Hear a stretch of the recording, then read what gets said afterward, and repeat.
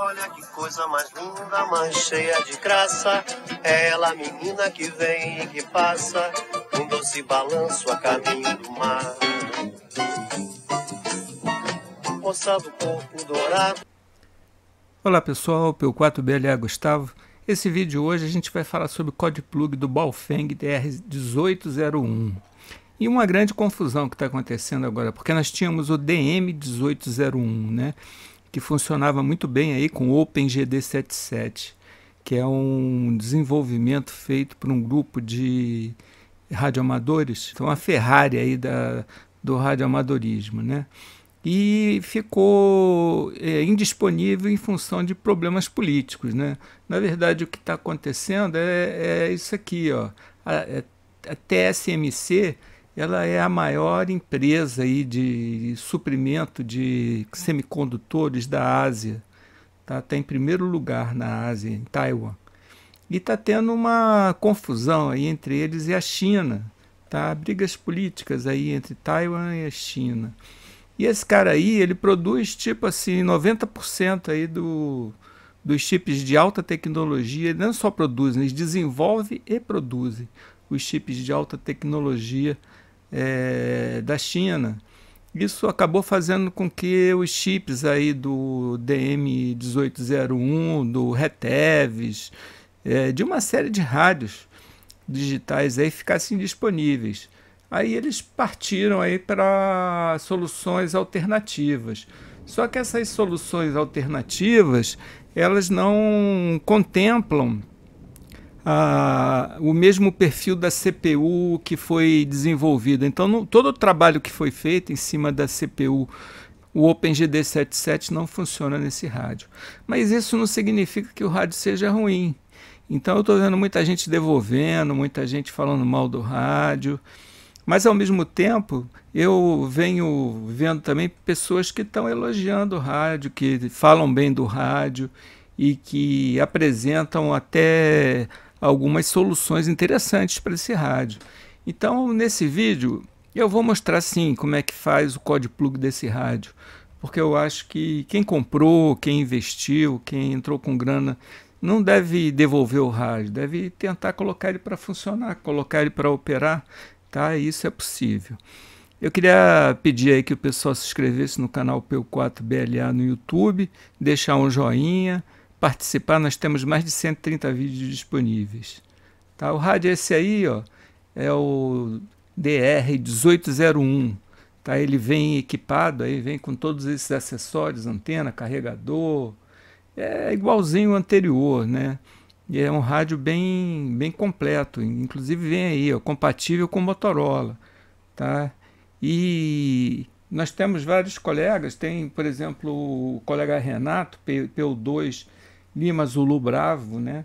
É, que tem um canal aí, arroba amantes do rádio, que faz é, comercialmente, ele programa rádios, né? Ele, ele fez o code plug para esse rádio aí, que funciona muito bem. Então, assim, não é dizer que o rádio não funcione. Pode ser que alguns colegas estejam tendo problema com a interface, com a interface USB, com algum, alguma dificuldade, pode estar usando o, um código plug mais antigo e não esteja funcionando. Mas o rádio ele funciona. Inclusive ele tem uma faixa de frequência muito interessante. Ele opera aí é, de 120 MHz tá, até 400 MHz. Então ele tem faixas aí de 120, 390, 400, 225, 250.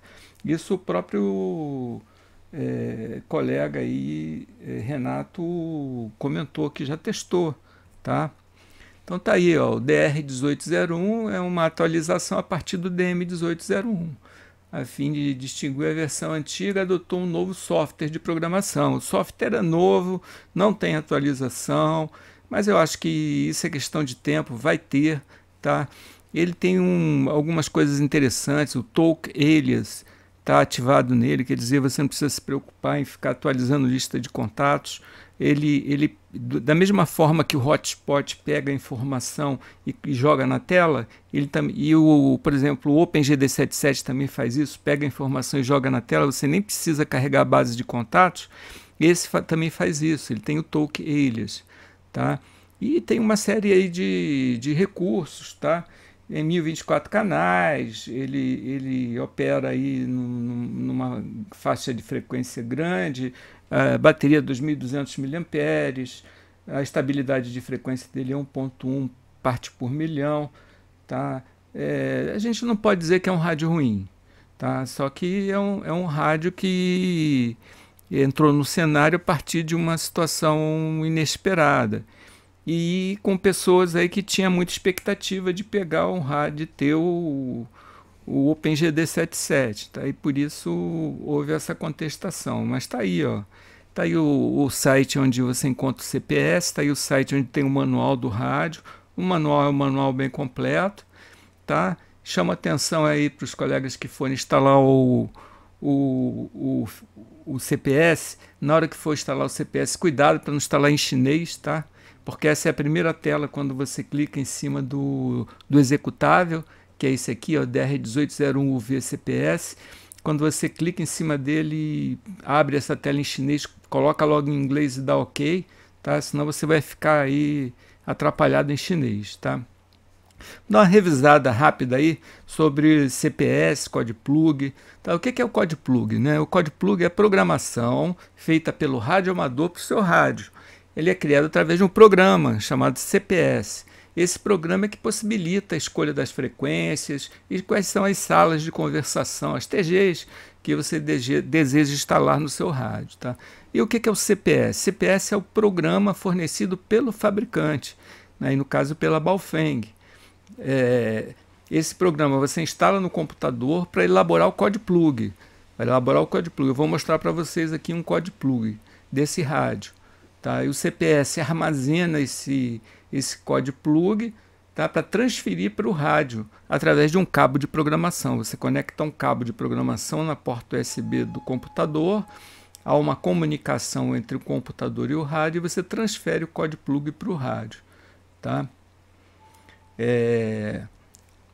Você lista de TGs, contatos. Quais são as TGs? Quais são os grupos de conversação? Onde é que você quer falar?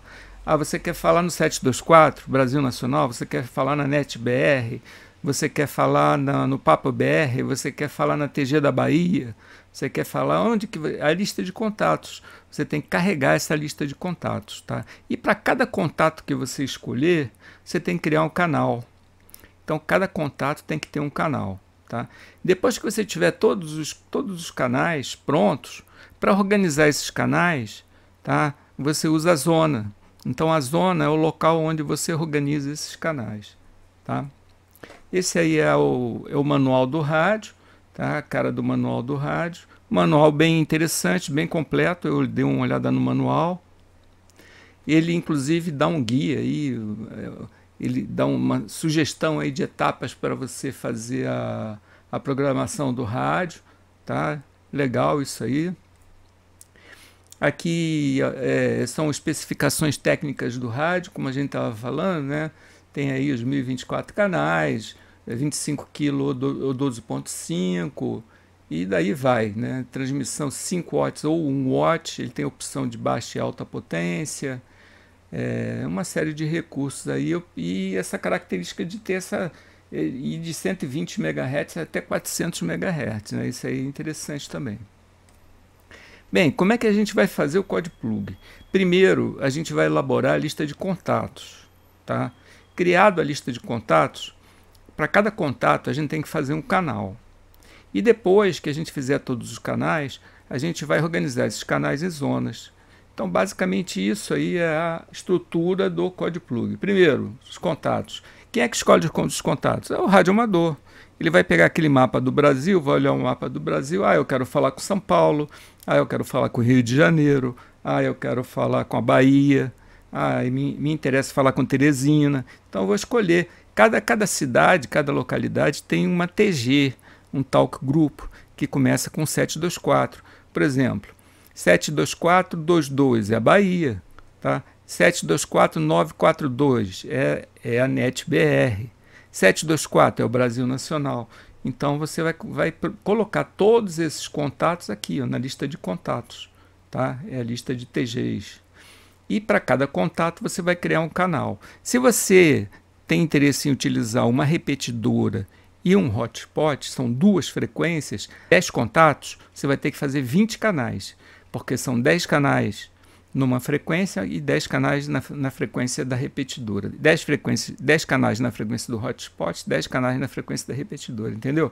Zonas onde você vai organizar esses canais. Você vai botar lá usuais, você vai colocar canais de teste. É aquela lista. Aqui tem todas, do lado esquerdo aqui, todas as repetidoras né, do Brasil, do lado direito os talk groups. Tá aí, ó, talk group especial, talk group nacional. Você vai escolher aqui o que, que você quer colocar no seu code plug. Tá? Você coloca num papel separado. Está lá Amazonas, 72413, Piauí, 72414. Ah, eu quero também Minas Gerais, 72442. Então você coloca o nome e do lado a TG. Lembrando que o 724 é o único que opera é, no time slot 1. E o restante, todos os outros sites, operam no time slot 2. Tá? Esse detalhe é importante. E essas repetidoras elas são atualizadas com frequência, então vale a pena você dar uma conferida lá no site dvbrasil.com.br e ver a última lista, a lista mais atualizada de, das repetidoras. Tá? Seleciona, escolhe as suas repetidoras e comece a elaborar seu code plug. Então, como é que a gente vai elaborar o code plug? Com o programa CPS é, instalado, você insere a lista de contatos, que são as TGs. Isso que a gente viu aqui agora, ó, que você escolheu aqui, ó, é, os TGs que você escolheu do Brasil e as repetidoras, você vai, vai colocar tudo na lista de contatos, tá? E para cada contato, você vai, para cada frequência, você tem que ter um canal. Lembrando a questão do slot, do color code, você tem que programar slot, tem que programar color code, tem que programar potência, frequência, tá? Isso para cada TG. Tá? Se eu se eu estiver utilizando hotspot uma repetidora, a gente vai ter que criar o dobro de canais. Então, por exemplo, você escolheu lá 10 TGs, 10 TGs no total, mas você vai querer falar no hotspot e numa repetidora. Então você vai ter que construir, você vai ter que montar 20 canais. São 10 canais para a repetidora e 10 canais para o hotspot. Tá? Depois que você fez tudo isso, construiu as zonas e tudo, você vai fazer a transferência do code plug para o rádio e vai testar com EcoTest. Né? É, prestar atenção, o nome escolhido para o canal é o que aparece na tela do rádio, é o que vai aparecer na tela do rádio. Não use acentos nem o cedilha, pois isso gera erro no display do rádio, tá? Você, você acaba tendo erros no display do rádio. Bem, a primeira tela do Code Plug é essa aí. Ó. É... Primeira coisa que você vai fazer é ler do rádio. Você tem que conseguir a comunicação entre o computador e o rádio. Então o cabo tem, tem que ser o cabo original, o cabo que vem com o rádio. Tá? Se não estiver funcionando a interface, você vai ter que pesquisar aí um, um drive para interface USB. Tá? Ele faz até alguns comentários com relação a, a driver, tá? ele dá algumas sugestões aí. Você coloca, instala e vai ler, ó, lê, vai ler do rádio. Quando você coloca ele para ler do rádio, eu não tenho rádio aqui ainda, estou pensando em comprar esse rádio, sério mesmo, mas eu não tenho esse rádio ainda. Então, o que você vai ver, a primeira tela, vai ser essa aí, ó, essa tela. Aí você clicando aqui é, em, no primeiro item aqui, Device Information, você vai colocar o, o seu prefixo, né, que ele chama de rádio name P4BLA, e seu ID, o rádio ID. Tem que ter o ID DMR. Se não tiver o ID DMR, não funciona. Tá? Então você tem que ter o ID DMR. Coloca o ID DMR e o prefixo aqui. Tá? Então esse é o, é o primeiro passo. Depois, vou montar a lista de contatos. Então, Tá aqui, ó, contatos.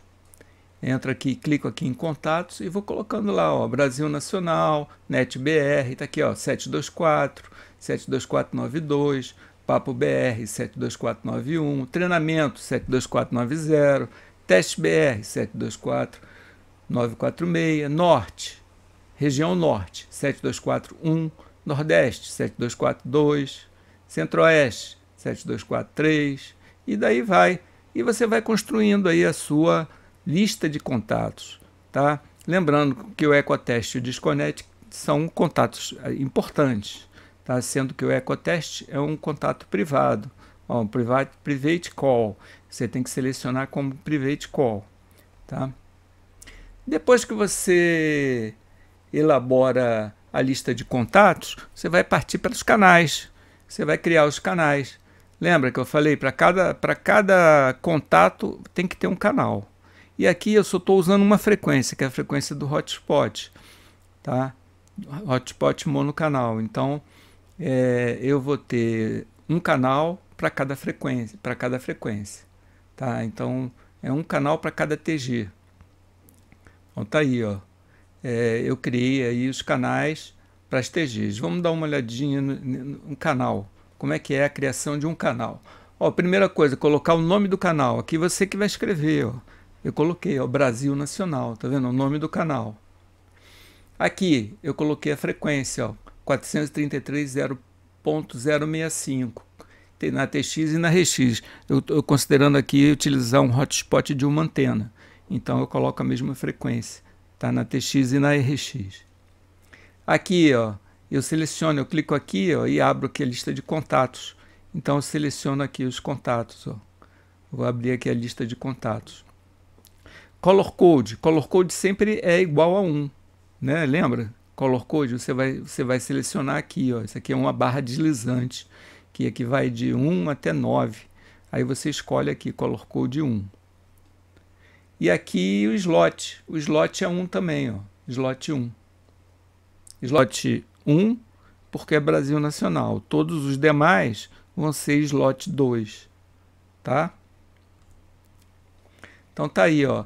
Feito, feito os canais, nós vamos partir para a zona. Ó, criei zona usuais, regiões e teste. Tá? Essas são as zonas. E ficou dessa forma. Então o Code Plug é relativamente simples de fazer. Eu vou até abrir aqui o, o code plug para mostrar para vocês. Tá aí, ó, esse aí é o code plug do DR1801A, número 6, tá? É a, é a, versão que eu tenho mais recente. Então, tá aqui, ó, é, informações básicas. Olha lá, ó, prefixo PU4BLA 7242592, tá? Que são as, essas informações, você vai ter que colocar o seu prefixo e seu ID DMR, tá? Aqui a gente, o modo é canal, aqui, aqui o restante a gente não mexe em muita coisa não. Ele, ele já, TOT não utiliza, TOT. Se você quiser colocar o TOT aqui, habilitar o TOT, você pode vir aqui habilitar o TOT e definir um, um tempo aqui de TOT. Eu, eu costumo não usar. Aqui são é, os, a lista de contatos, tá vendo? Ó, os contatos, ó. NetBR, Papo BR, tá tudo aí, ó. ó vou editar aqui, ó. Ó, Brasil Nacional, escrevi o nome, é um grupo call e o código é 724. Tá? Aqui, por exemplo, o Ecotest. O Ecotest é, um, é uma chamada privada, ó, private, private call. Ecotest 724997, tá? Então você vai, você vai montar esse, essa lista de canais. Centro-Oeste 7243 é um grupo call. Mostrou, montou aqui toda a sua lista de canais é, sua lista de contatos. Montou aqui toda a sua lista de contatos. Depois que você montar toda a sua lista de contatos, para cada contato, você vai criar um canal. Então vamos aqui em canais. Ó. Tá aqui, ó, para cada contato eu tenho um canal. E aí, ó, eu, eu posso entrar aqui no Brasil Nacional para mostrar para vocês. Está aí, ó, a frequência, né? Eu deixei em potência alta, 5 watts. Se eu quiser deixar em 1 watt, eu, eu, eu desligo aqui, ó, ele ficou em 1 watt. Aqui está em 5 watts. Aqui eu seleciono a, o contato. O contato é Brasil Nacional. Tá? Esse nome aqui eu que escrevi, Brasil Nacional. Tá?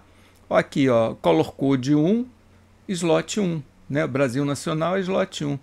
É, se fosse slot 2, eu traria para cá. Mas é slot 1. Tá? E dou OK. Ó. Agora vamos ver o NetBR. Ó. NetBR.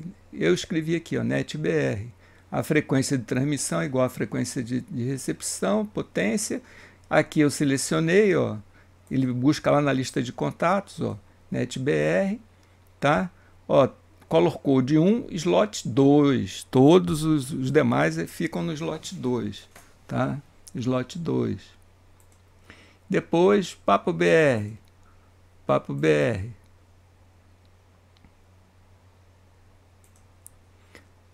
Papo BR, mesma coisa, frequência, é, o contato aqui, ó, Papo BR, color code 1, slot 2, tá?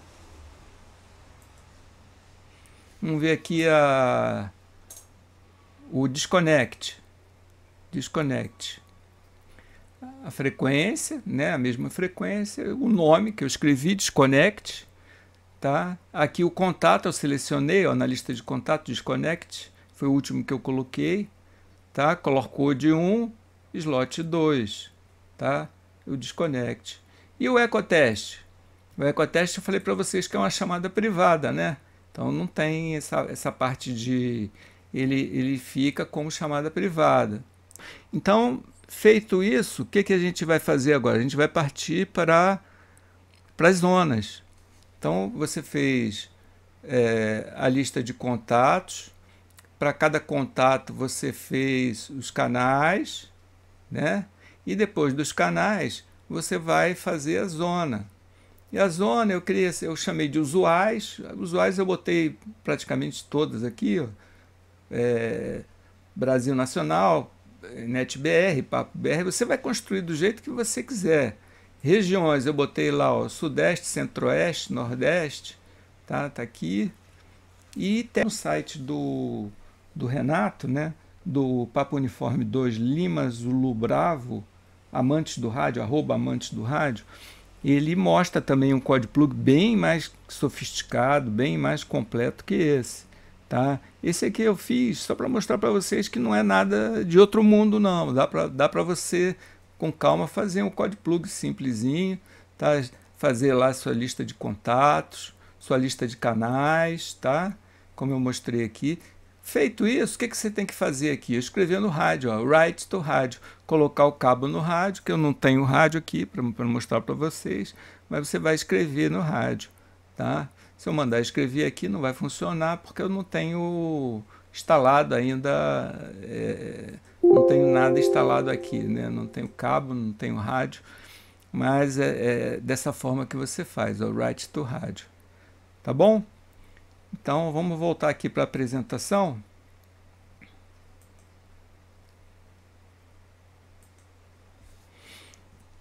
Então, basicamente isso que eu queria mostrar para vocês. É, o rádio é um rádio que dá para utilizar, não é um rádio que você tem que devolver tenta fazer o code plug, passa a utilizar o rádio. Ele pode não ter lá o OpenGD77, mas é um rádio que tem uma, uma gama de frequências aí muito interessante, né? De 120 MB até 400 MB é muita coisa, tá bom? É isso que eu queria mostrar para vocês. Agradeço a participação de todos. Peço que se inscreva no canal, deixe seu joinha, tá? E participe aí é, dos nossos vídeos. Temos mais de 130 vídeos aí à disposição de vocês. Um abraço a todos. Em breve eu vou estar fazendo também do RT3S, que o RT3S também, é, também não está funcionando mais no OpenGD77 e o pessoal está meio desanimado com o RT3S, que é um ótimo rádio.